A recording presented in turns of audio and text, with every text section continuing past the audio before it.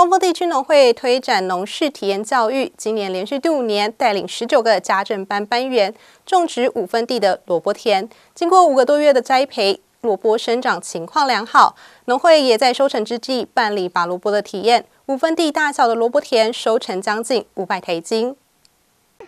大安家政班二零二二好彩头，耶！不止大安家政班，光丰地区农会辅导的十九个家政班共同种下这一大片的萝卜田，大丰收。今天上午，个个是欢喜丰收。总共几袋？十几袋。我们我们光丰农会都是放有机肥。大丰收，大丰收赞！拔萝卜非常开心。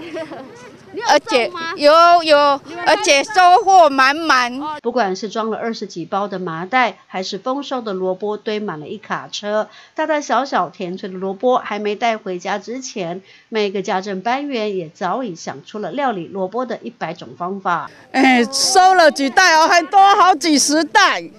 我们有爱心，哎，我们付出很多爱心，特别的漂亮，特别的嫩。什么班顾的那么好啊？那搞得嘞，家政班雇的种的。萝卜干，啊，做菜脯给，做菜脯给，萝卜菜脯，跟你要白巴掌用的。光丰地区农会推广农事体验教育，今年连续第五年带领十九个家政班共同种植五分地面积的萝卜田。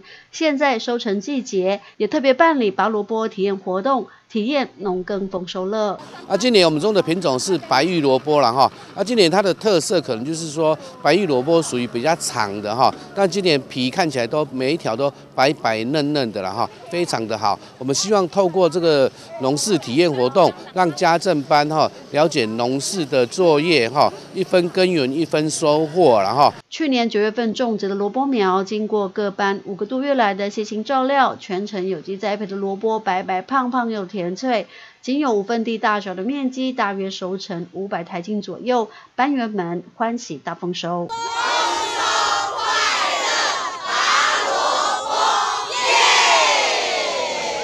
记者石玉兰光复采访报道。